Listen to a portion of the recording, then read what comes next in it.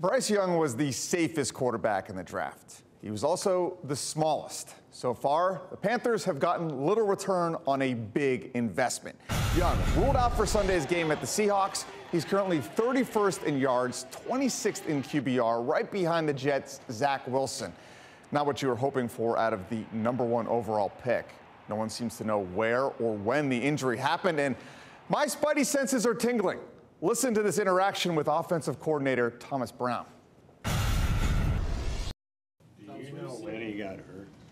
I do not. Sometime in the first half. First half. Did I can pinpoint a play or, you know, when, is that, when it actually happened. mention it at halftime or No. not? Never said a one word the whole game.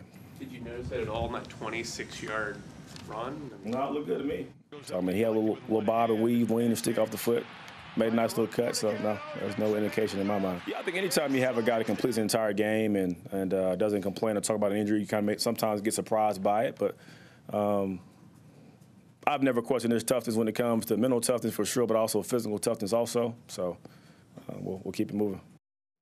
They aren't questioning his toughness, but I wonder if the organization is questioning his readiness. Feels like this ankle injury could be a convenient excuse to give their franchise QB a little reset.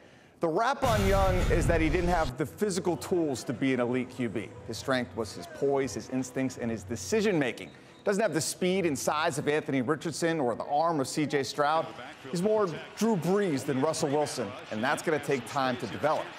Question is, was that really worth trading up to get the number one overall pick? Not only did they give up DJ Moore in the deal, a receiver Young desperately could use, they traded next year's first round pick. The hope was that Young could take this team to the playoffs year one. Now there's no reward if this season goes into the tank.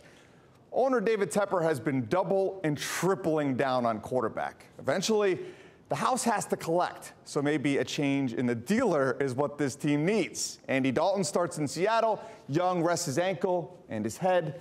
The future rests on his slight shoulders, and they cannot afford to lose this bet.